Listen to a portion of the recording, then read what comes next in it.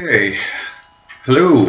Um, yeah, this is a video that pertains to section test number two. I'm going to go through each of the questions for you, give some sort of indication of what I'm looking for in terms of a response. Um, I should remind you that these questions relate to the video material, relate to the text, relate to the um, secondary video material that I posted to Moodle. You're responsible for all of this. So um, it's in your best interest to do all of the required readings and screenings for this course. Um, the test itself, as you can see, it's posted to Moodle now, um, has blocks of text from the, uh, the course syllabus, um, just the description of the section tests, and I followed those very, very closely. Um, it, these tests are designed to test all of this material and um, it's it basically it's five short answer and one longer answer question, just like your last test. Um, the missed assignment policy, um, please let me know if you're going to miss an assignment before the assignment, if at all possible if you miss the assignment due to uh, serious illness or some other sort of sky falling kind of situation, um, it, uh, please let me know within 12 hours and we can work something out. I'm more than willing to work with you. Um, I noticed um, a number of students missed the previous assignment, uh, which will likely uh, pretty seriously hurt your grade, but um, it's there is still a good hunk of the grades for this class left, so um, all is not lost. Uh, so that's the missed assignment uh, policy. Um, it's your responsibility to ensure that you have properly uploaded your assignment to Moodle as well, so please double check. Um, and then uh, it, just because we did have some issues, there's a zero tolerance policy on plagiarism in this course. So if you're using external sources like Wikipedia, cheat notes, or something along those lines, uh, you have to reference that material. Right? It's okay to use sources other than uh, the course material or even sources within the course material. Just let me know that these are not your words. Uh, they come from somewhere else. And the principle is if I'm looking for it, I should be able to go find it right? So um, I've issued some warnings on that, and um, it, well, anyhow, we're moving on. So readings: Aristotle, Nicomachean Ethics, books one, two, and just section one of book three of the Nicomachean Ethics. Um, and Hobbes Leviathan, uh, chapters 6 through 19. Um, uh, let me see video material aristotle's ethics my video um, aristotle ethics part one from the podcast lectures um, school of life philosophy aristotle.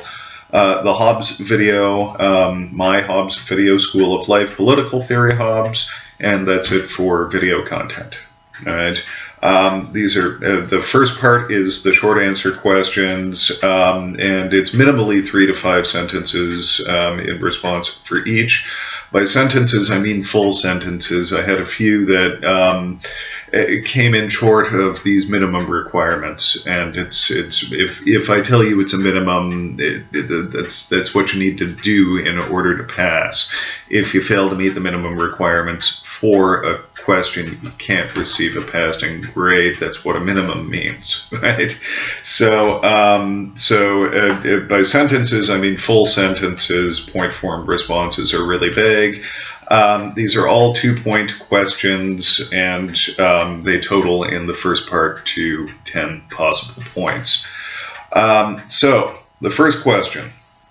And this argument is really the linchpin of Aristotle's um, uh, philosophy here, right? Um, his ethics, at least, anyway. Um, briefly discuss the function argument discussed by Aristotle in Book 1 of the Nicomachean Ethics. Right? Um, this is the argument I gave the example of the beer store guy just to illustrate it. What Aristotle is looking for is something more general than the function of a particular vocation or something along those lines. So uh, make sure not to just present an example of this argument, but to follow Aristotle in sort of expanding it to a general human function. How, by this argument, does Aristotle arrive at his definition of happiness, which I know is an activity of this whole accord for, uh, with virtue, which I give you in the final longer answer question. But how does Aristotle get from the function argument to a definition of, happiness? That's what I'm looking at, right? So um, that's your first question there.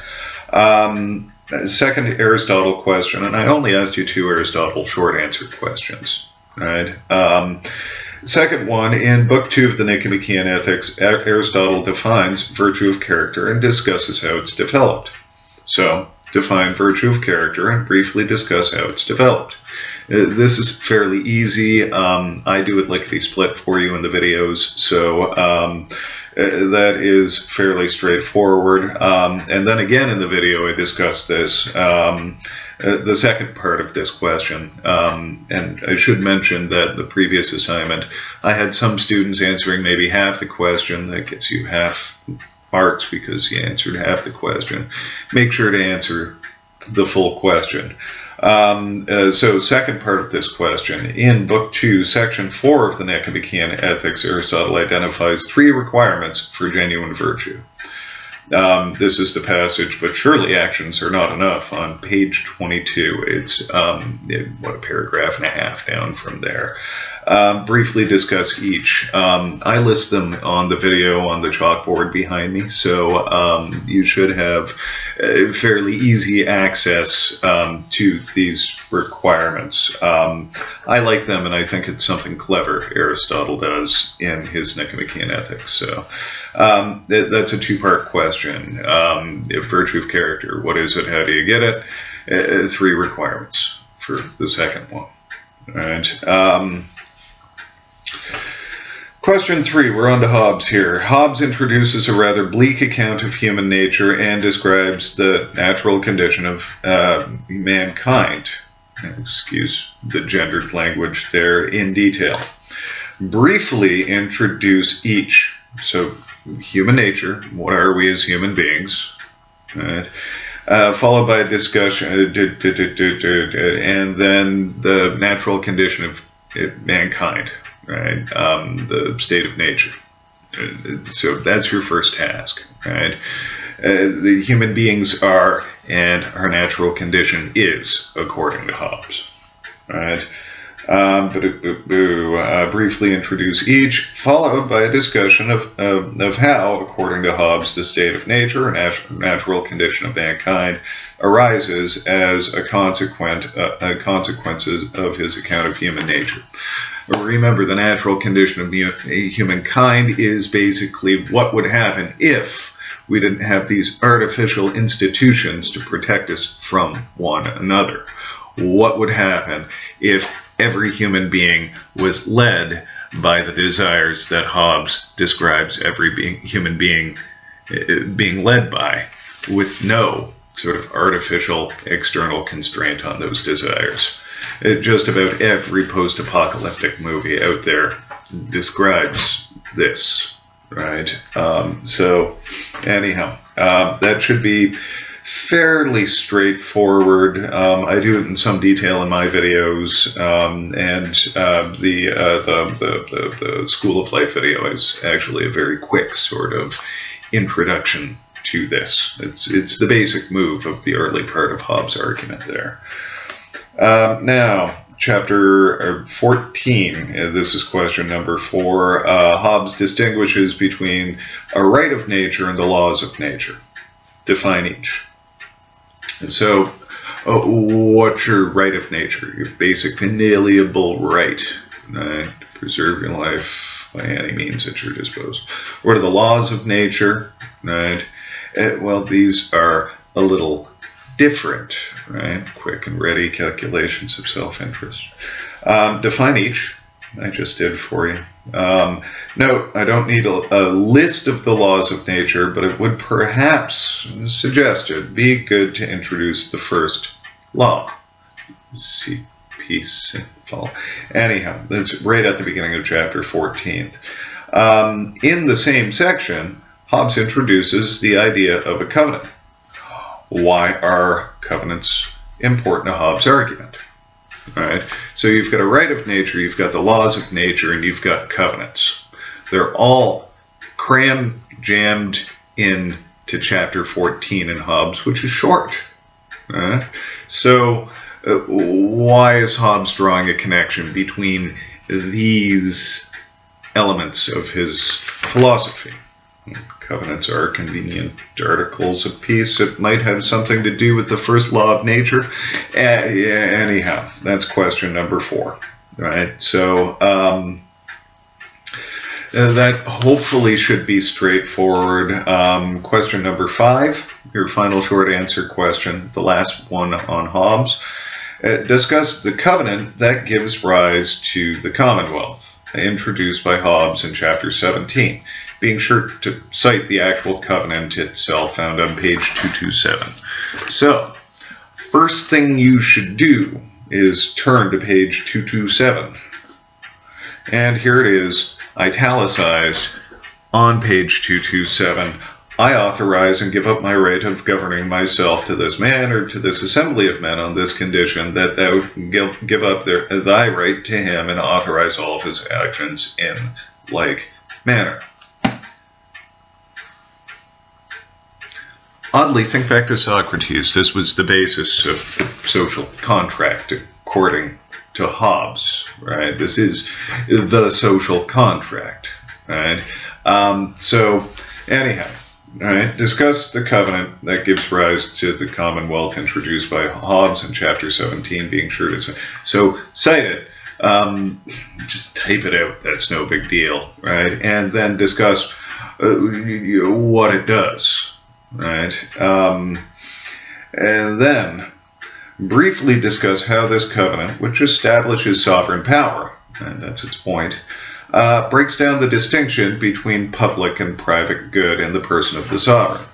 So, interestingly for Hobbes, this is what he's up to. This becomes very clear in the final chapter that we took a look at, chapter 19, because the problem is when power has to be shared, right? When I have some power and you have some power. Uh, really, Hobbes puts, um, it's page 161 of Hobbes, a perpetual desire for power after power that ceases only in death as uh, the, the, the, the, the drive behind all human activity.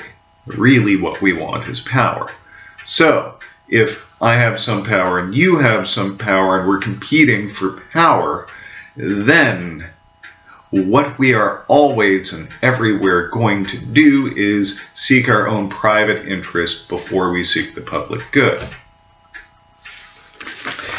Interestingly, with this covenant, which I just cited to you, I authorize and give up my right of governing myself, da da da da da da. What we've done is we've given all, all the power to this one person, the sovereign. And it's that act of giving all the power to that one person, the sovereign, that makes the sovereign sovereign. So how much power does the sovereign have? How much power we give the sovereign.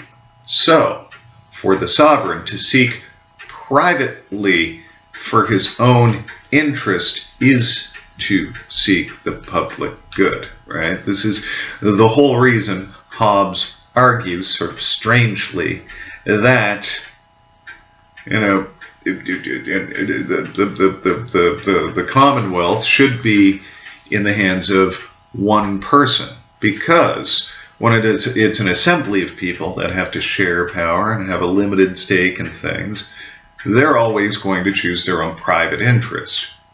Right?